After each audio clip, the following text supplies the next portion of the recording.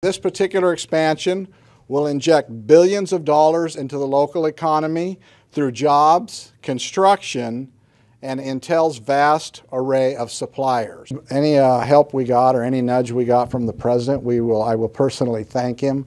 I know this was a significant enough project for them to want to announce it out of the Oval Office, and that's not unusual. We had the, the last president, President Obama, was out at Fab 42 probably four or five years ago when we first started that project.